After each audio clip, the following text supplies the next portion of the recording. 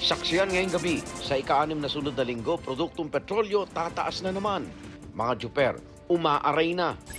Mala Children's Party na bakunahan, diskarte sa kick-off ng pagbabakuna sa mga edad 5 hanggang 11. Pero ilang bata na paurong. DOH nagpaalala sa publiko na kumuha ng updated vaccination certificate. Proseso ng application, hihimayin.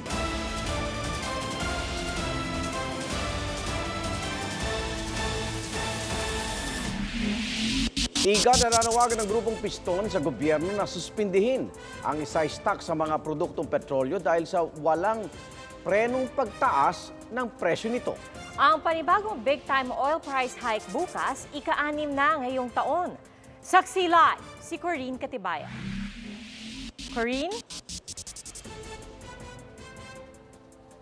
Pia Igan, patong-patong na raw ang problema na hinaharap ng mga driver sa gitna ng sunod-sunod na big-time oil price hike. Sinagad na ng taxi driver na si Jefferson ang oras ng kanyang pagpasada. Pero kanina, nasa 300 piso pa lang ang kinita niya. Kaya tiyagaan lang po talaga, eh, kaya hindi namin kaya mag-araw-araw. Kung mag-araw-araw kami, di na, lagi kami nasa-short. Kulang na nga raw sila sa pasahero, pinoproblema pa ngayon ang napakamahal na presyo ng petrolyo. Wala kami magagawa, kundi pumila lang talaga. O, eh, sakripisyo lang po talaga kami dito.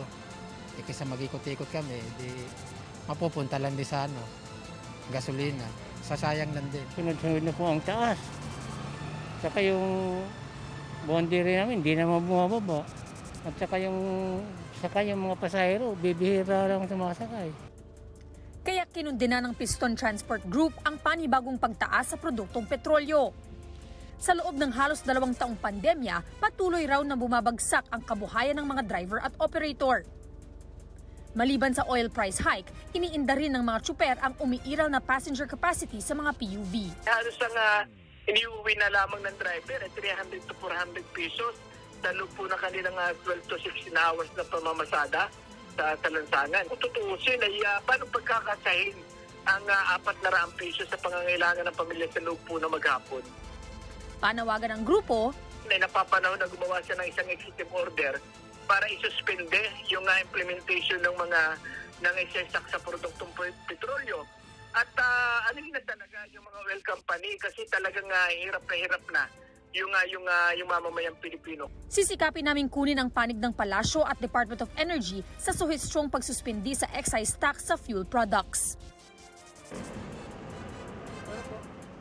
Sa panibagong big-time oil price hike bukas, piso at 20 sentimo ang dagdag sa kada litro ng diesel, piso at 5 sentimo naman sa gasolina, habang sa kerosene, piso at 25 sentimo ang dagdag kada litro.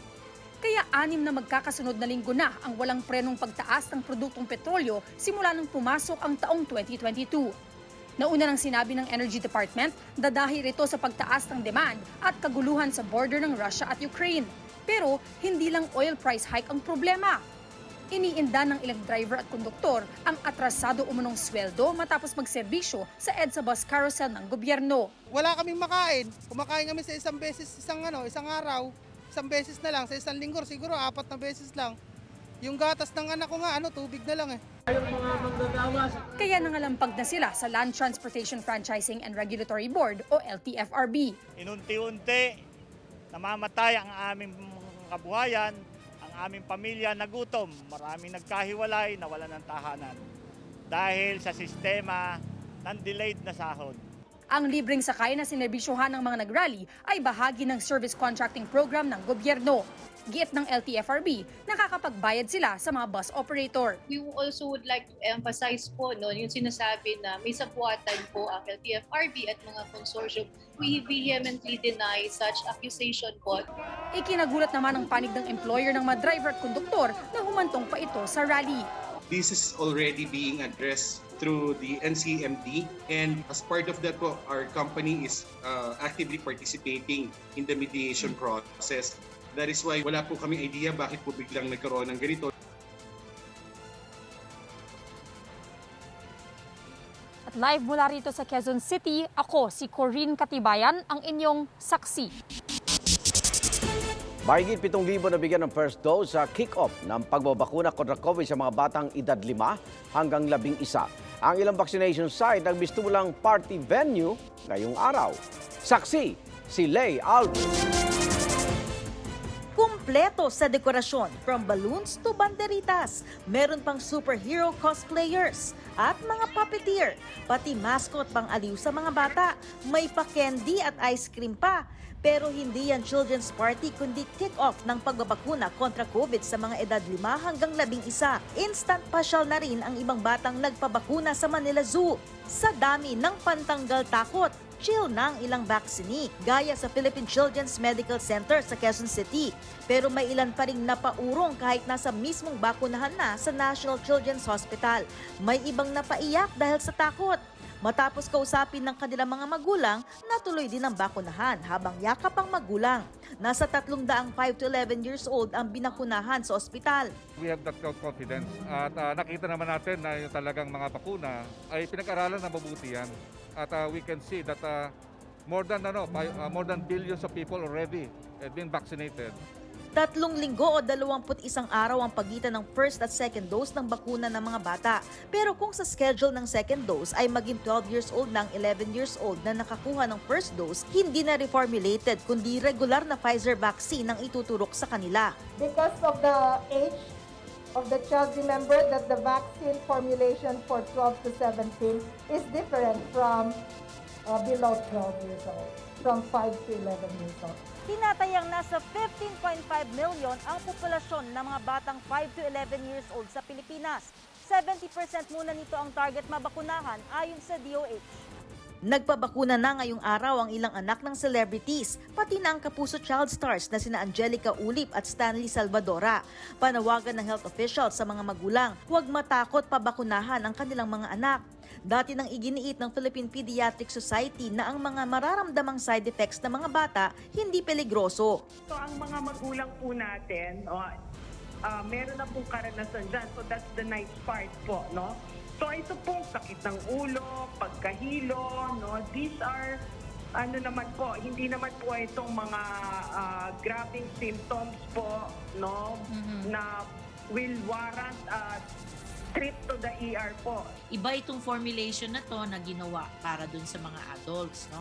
So, ah, lahat na nga ng pangyayari na ginagawa para ma- talagang mai maipruweba na talagang safe itong ah, bakunang to. Patuloy nating imo-monitor at iso-surveillance itong mga bakunang ito para ma-upgrade at ma-update tayo sa pagbabakuna dito sa COVID-19 ah, ah, pediatric dose. Bukas ng video conference hearing sa isinampang petisyon ng dalawang magulang sa Quezon City RTC upang ipahinto ang pagbabakuna sa edad 5 hanggang 11.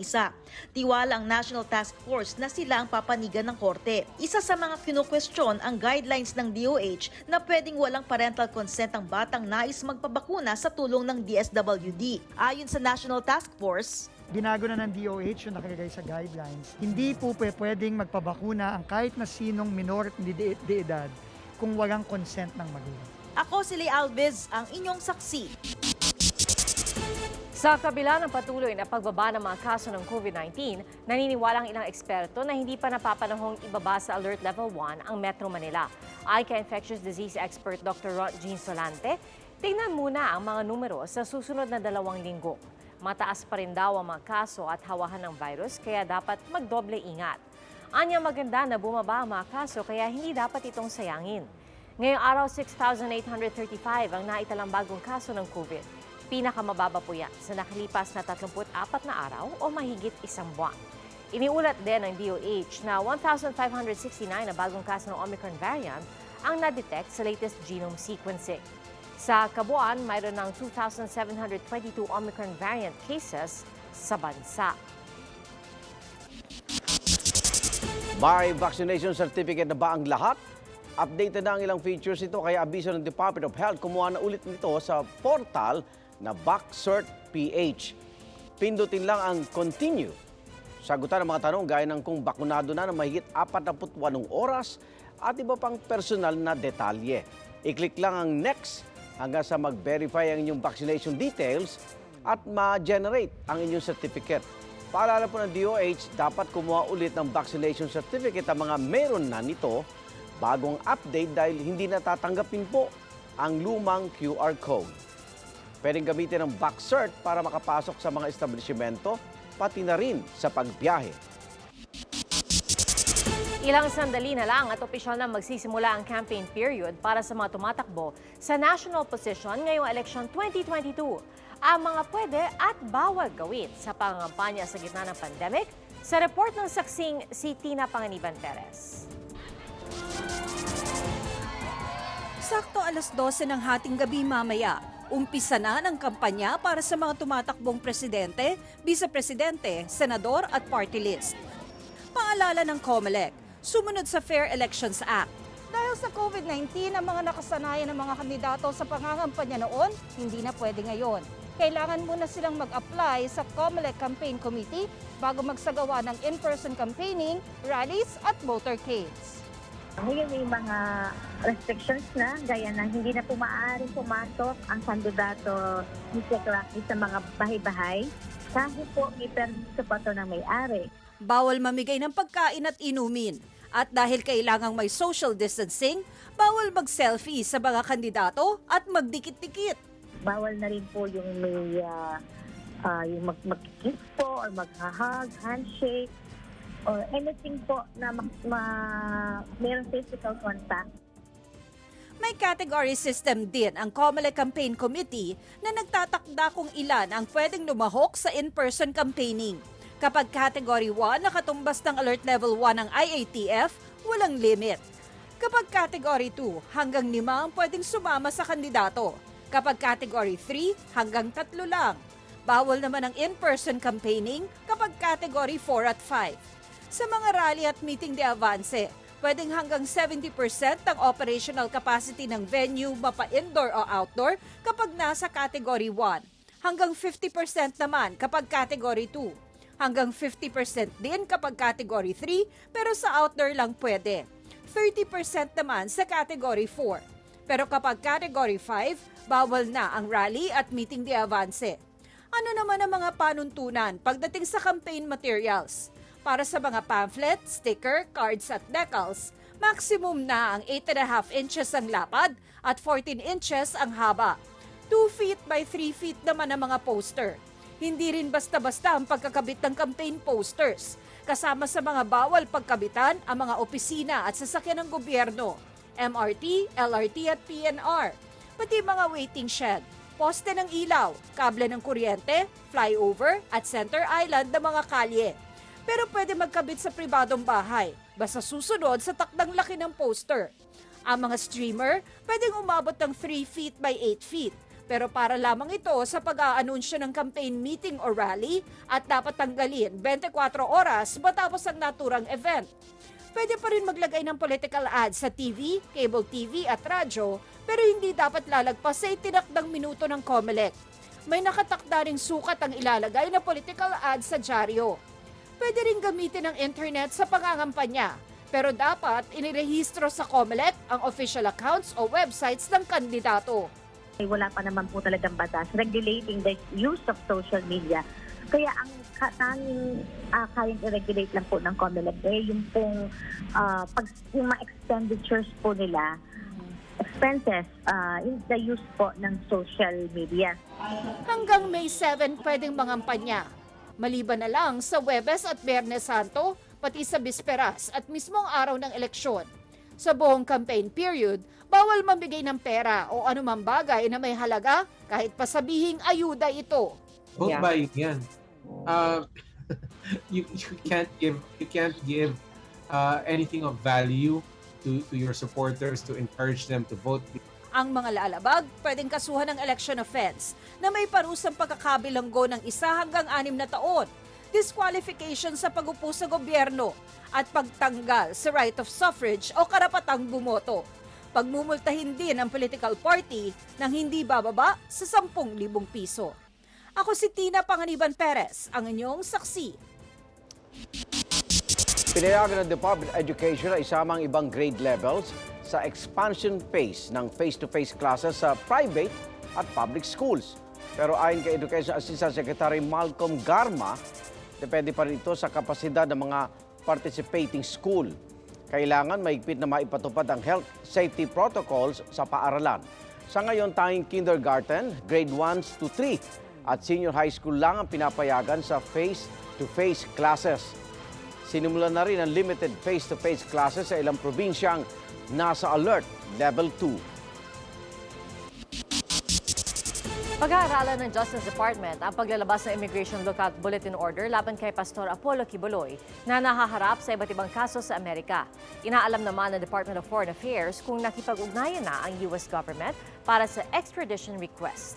Saksi si Chino Gaston. Bagaman kilalang malapit at itinuturing na spiritual advisor ni Pangulong Duterte, batas lang daw ang susundin ng Department of Justice oras na makarating ang extradition request ng Estados Unidos laban kay Pastor Apollo Kibuloy ng Kingdom of Jesus Christ at kanyang mga kasamahan.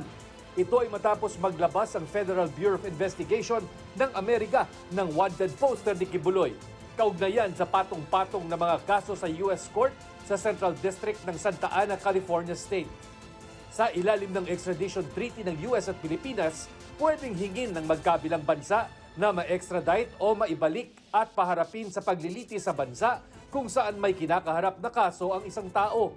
Pero kailangan dumaan ang extradition request sa US Justice at State Department, sa ating DFA, DOJ, Manila Regional Trial Court, at kung may apela sa Court of Appeals at Supreme Court. Hindi naman natin tinitingnan kung sino yung mga personalidad na involved, whether kilalang tao o hindi. Kaya kailangan lang natin pairalin yung hostisya. Sa isang text message, sinabi ni Justice Secretary Menardo Guevara na pag-aaralan ng DOJ ang paglabas ng Immigration Lookout Bulletin Order o ILBO kapag nakarating na ang apela ng complainant.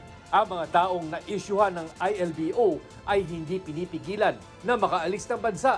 Pero kailangan i-report agad ng Bureau of Immigration ang impormasyon sa DOJ at sa Office of the Prosecutor General. Pero sa ngayon, wala pa raw natatanggap na liham o request ang DOJ mula sa US government. Ang Department of Foreign Affairs inaalam pa raw kung nag-contact na ang US government para sa extradition request na kadalas ay dinadaan daw sa State Department. Sa email mula sa FBI Press Relations Coordinator, kinumpirma nilang may outstanding arrest warrants laban kila Kibuloy na tinawag nilang fugitives at patuloy daw ang investigasyon. Di raw makakapagkomento ang FBI tungkol sa extradition proceedings o kung nasimulan na ang proseso ng paghingi nito. Ang abogado ni Kibuloy, kinwestiyon ang timing ng paglabas ng wanted poster. Well, indirectly, it is undermining the candidacy of uh, Sara Duterte. Uh, indirectly, it may be undermining the candidacy of uh, uh, Bongbong Marcos or uh, whichever candidate the United States does not want to win in this country. Sa kabila nito, handa raw silang sumunod sa proseso ng extradition sakaling matuloy ito. Ako si Chino Gaston ang inyong saksi. Muli humarap sa publiko via Talk to the People si Pangulong Rodrigo Duterte. Huli siyang nagbigay ng public speech noong January 24. Sumailalim siya sa ilang araw ng quarantine matapos ma-expose sa dalawang household staff na nagpositibo sa COVID-19. Sinabi ng Pangulo na masaya siya sa pagbabalik sa kanyang lingguhang programa. Nagbabala Land Transportation Office o LTO laban sa mga umano'y online fixer na package dilang alok sa pag-aayos ng lisensya. Saksi si Maris Umali.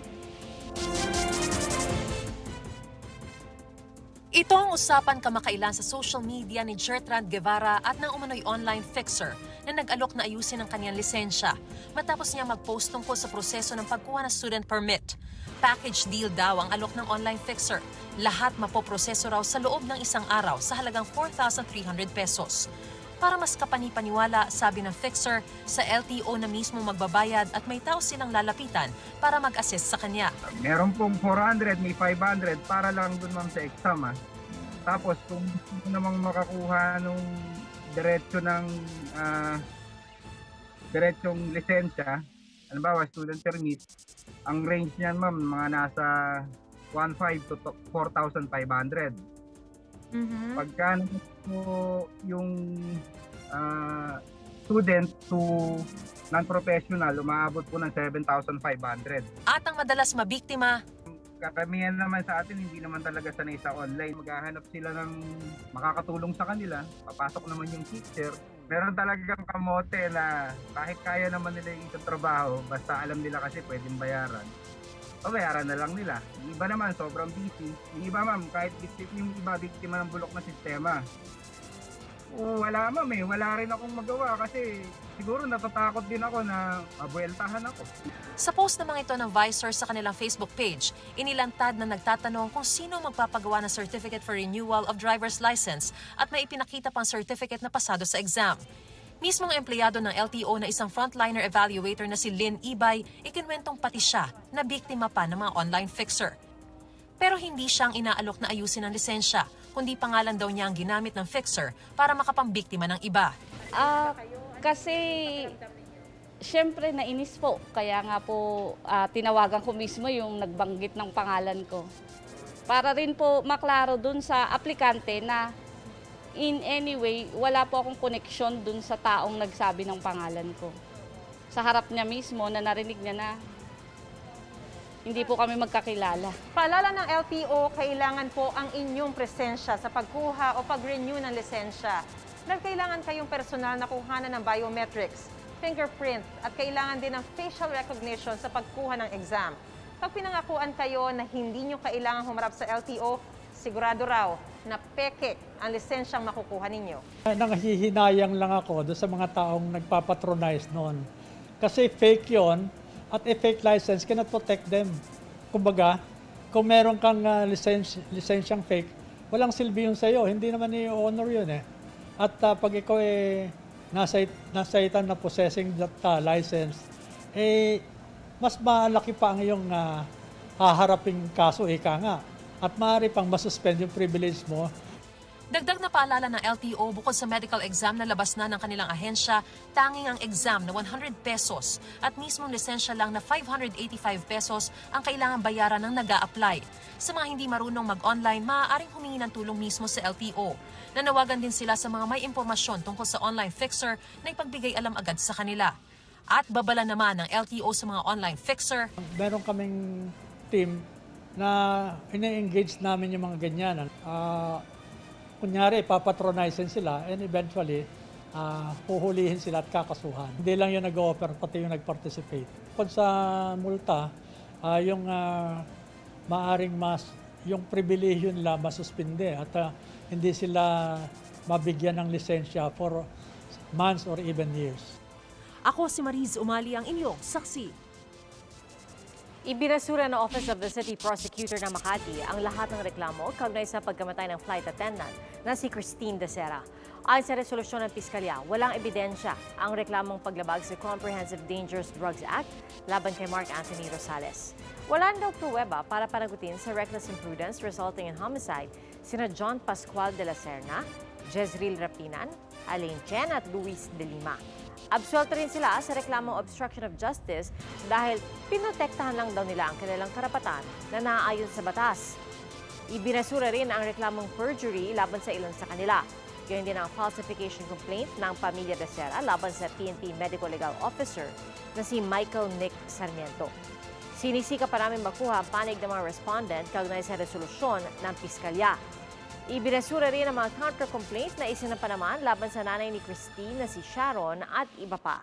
Ayon sa tagapagsalita ng pamilya Dasera, hihintayin muna ang pinal na desisyon ng pamilya bago magsagawa ng panibagong hakbang. Sa bisparas ng campaign period para sa pambansang posisyon, tuloy ang iba't iba aktibidad ng mga presidential at vice presidential aspirant para sa eleksyon 2022. Saksi, sina Atina Imperial, June Veneracion, Salima Refran at Sandra Aguinaldo. Dumalo sa isang forum sa Naga City si Vice President Lenny Robredo kasama ang mga kinatawa ng media sa Bicol Region. Matapos nito, dumiretso siya sa signing ng Deed of Donation ng pribadong lupa na kinatatayuan ng isang pampublikong paaralan sa Luzon. Present din si Robredo sa 81st Alumni Homecoming ng University of Santa Isabel sa Naga City Nagkaroon ng unveiling ng mural painting para ipakita ang suporta ng universidad sa Vice Presidente. Sa bisperas ng pagsisimula ng kampanya, inilunsad ni Robredo ang rosas bilang simbolo ng kanyang kampanya at sinabi niya sa kanyang post, kulay rosas ang bukas. kahit gaano ka husay ng leader, kung hindi niya ma-inspire yung tao na maging bahagi ng solusyon, pare-pareho lang naman yung problemang um, haharapin natin sa pang-araw-araw. So, sa- akin talaga yung, yung kulay rosas ang bukas. Ito yung aspiration natin. Ah, ito yung aspiration natin na kung gina- gawin natin ang tama, kung magiging matapat tayo, makakaasa tayo ng pagbabago. Si Senador Francis Kiko Pangilinan sinabing tututok siya sa food security sa paglutas ng kagutuman sa pamamagitan ng pagsuporta sa mga magsasaka at mangingisda. Gagamitin daw niya dito ang kanyang karanasan bilang Food Security Secretary. Sa inaugurasyon ng Condominium 1 sa Vitas Tondo, Maynila, isang condominium style na pabahay para sa Manileño, namigay si Manila Mayor Isko Moreno ng Certificate of Unit Assignment sa mga residenteng napili sa pamamagitan ng raffle. Sa kanyang speech, binigyang diin ni Moreno ang kahalagahan ng may maayos na tirahan. Sa pagsisimula ng kampanya bukas, sinabi ni Moreno na welcome mangampanya sa Maynila ang iba pang kandidato basta sumunod lang sa health protocols at guidelines ng COMELEC. those candidates also uh, from the other side of the river, welcome po kayo sa Maynila. Hindi nyo na kailangan mag-apply ng motorcade permit. Mag-motorcade po kayo rito. Mag-intablado po kayo rito para mabura sa isipan yung mga uh, gagawa pa ng kwento. Nagpunta rin si Moreno sa launching ng vaccination para sa 5 to 11 years old sa Manila Zoo. Sa ikaw na ba, the Vice Presidential interview ng DZWB, sinabi ni Doc Willie Ong na sakaling mahalal, nais niyang makatulong sa pagsasaayos ng healthcare system. Kung pala rin daw si Moreno, tatanggapin niya kung anumang pwestong ialok nito, kabilang na ang posisyon ng Health Secretary. Nagikot sa ilang lugar sa probinsya ng Bulacan si dating Senador Bongbong Marcos. Nagkaroon din siya ng mga town hall meetings sa Baliwag, San Jose del Monte at Malolos. Kasama niya mga senatorial aspirants sa sina Deputy Speaker Rodante Marcoleta, dating Senador Jinggoy Estrada at Attorney Larry Gadon. Isusulong raw niya ang pagkakaisa ng bansa. Ang Pilipino po ay nasa ugali na ang magkaisa. Ang Pilipino po ay pag mapagmahal. Hindi tayo pala ayaw, away. Hindi tayo naghahanap ng gulo. Ang ugali ng Pilipino ay makabayanihan. At pag may nakikitang naghihirap, tumutulong. Sa panayam ng Net25, sinabi ni Marcos sa nagkaroon ng mga pang-aabuso noong martial law, lalo na sa gyera laban sa Muslim separatist at NPA.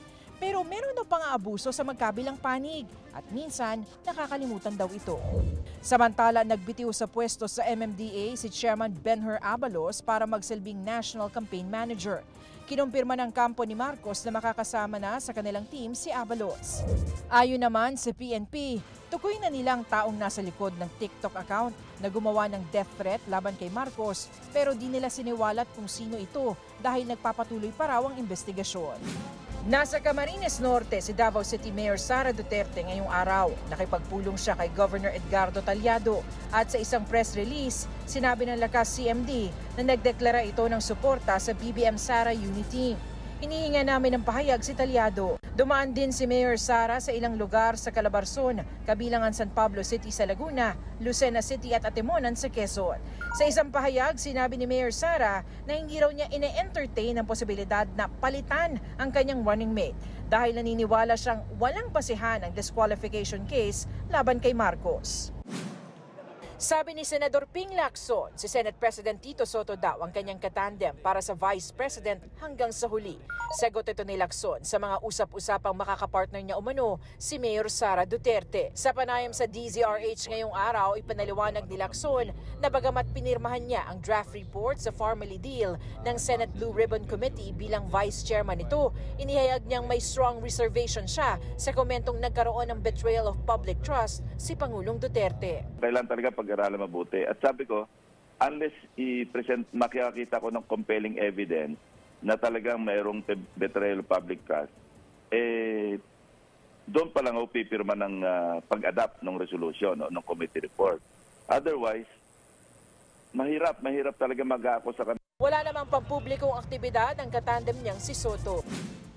Mga kasama, ako, si Walter at ang aming grupo ay kaysa nyo sa laban. Tuloy ang laban! Sinamahan ni Calio de Guzman at Walden Bello ang ilang driver at konduktor ng bus sa kanilang rally sa harap ng LTFRB. Sa panayam ng Politico TV, sinabi rin na de Guzman na dapat mabawi ang umano'y nakaw na yaman ng pamilya Marcos. Sinisika pa naming makuha ang bagong pahayag ng pamilya Marcos kaugnay nito. Si presidential candidate Senator Manny Pacquiao hinirang na ambassador for the homeless and vulnerable ng isang international philanthropic organization habang pinangungunahan ang groundbreaking ng isang housing community center sa barangay Subang Dako, Mandaue City sa Cebu. Sabi ni Pacquiao, nakatutulong ang private sector partnership sa pagtatayo ng bahay para sa mahihirap nating mga kababayan pero kailangan daw ng suporta ng gobyerno para sa problema sa pabahay. Ana ata dire para maghatag og tabang sa kanang panimalay sa tanan nga mga ah, walay-balay no? Di lamang dire kundi sa tibuok Pilipinas. Ingon ana ang atong programa nationwide. Di lamang kana kundi ang pag ah, ah, hatag o panginabuhian sa matang pamilya Namigay din si Pacquiao ng 10 generator set sa 10 komunidad sa probinsya ng Cebu na walang kuryente hanggang ngayon dahil sa bagyong Udet. Sa kanyang Facebook Live kanina, hinamon ni Congressman Lito Atienza si dating Senador Bongbong Marcos na samahan si Pastor Apollo Kibuloy sa Amerika kapag inaresto ito ng FBI dahil sa mga kaso nito sa US. Ani Atienza, challenge of friendship daw ito ng dalawa lalo't campaign manager ni Marcos si Kibuloy. Kinukuhanan namin ng panig sina Marcos at Pastor Kibuloy. Athena Imperial. Ako si Jun Veneracion. Ako si Sanima Refran. Ako si Sandra Aguinaldo. Kami ang inyong Saksi.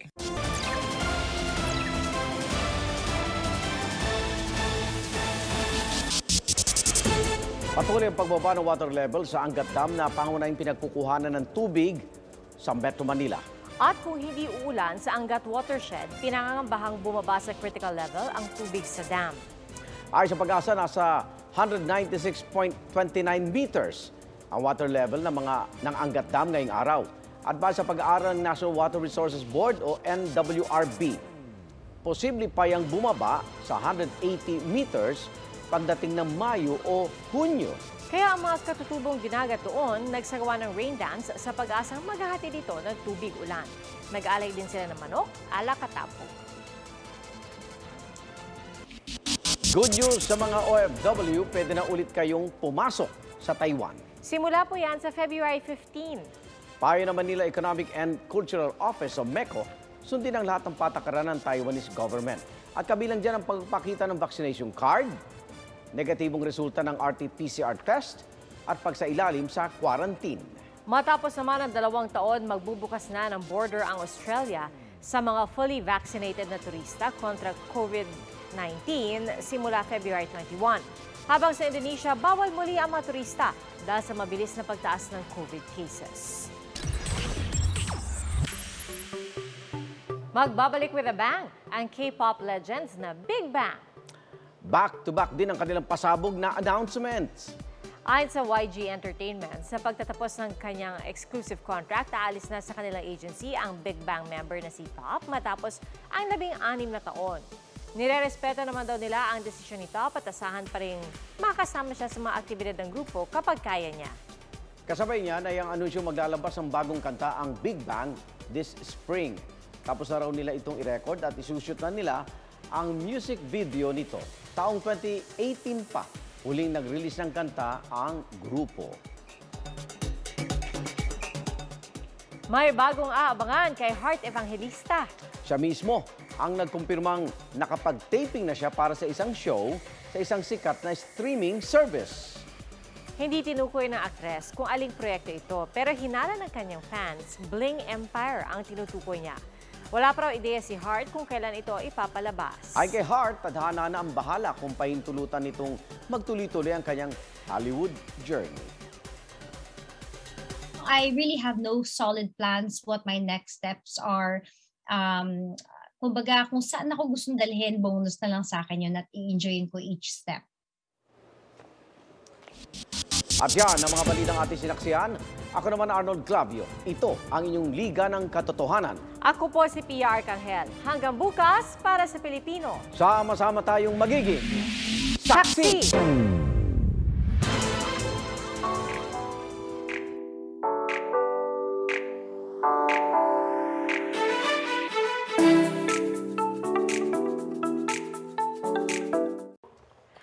kapuso, saksihan ang unang pasok ng mga balita. Maaaring mapanood ang saksi at ang iba pang GMA Newscast sa youtube.com slash GMA News. I-click lang ang subscribe button.